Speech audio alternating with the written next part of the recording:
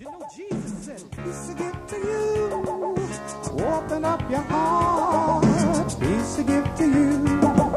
And never let it part. Blessings on your spouse. Favor on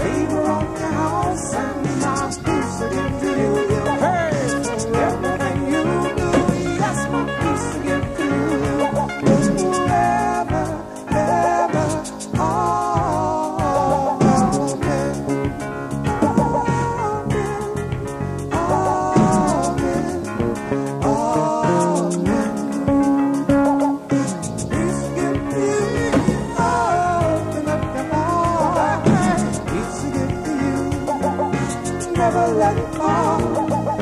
Blessings on your spouse. Favor on your house.